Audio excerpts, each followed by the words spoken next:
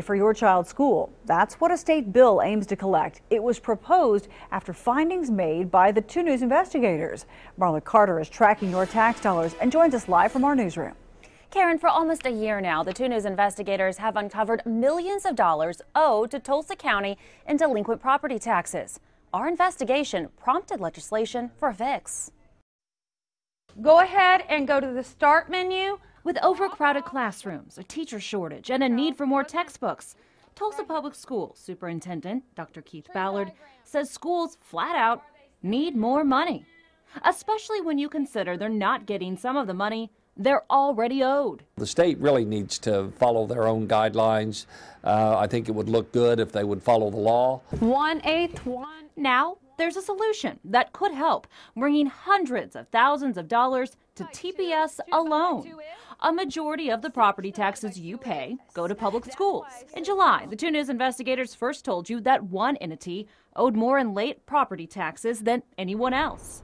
It was the state of Oklahoma. Its tab, $2 million. owed just to Tulsa County. Here's why.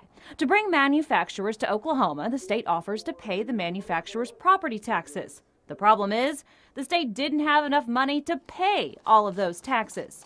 In fact, the 2 News investigators found the state owed $26 million to counties and districts in back taxes across the state. We told state lawmaker Senator Sean Burrage about what the 2 News investigators uncovered and he promised a fix. We definitely need to find a way to pay our bills on time.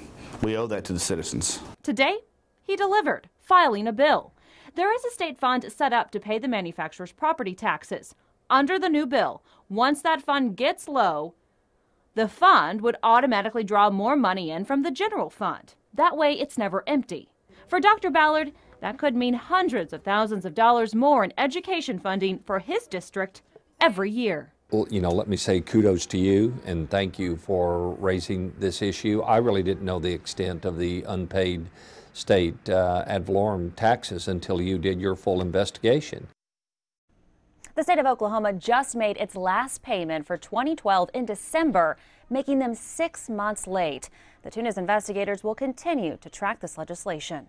Marla Carter, 2 News works for you.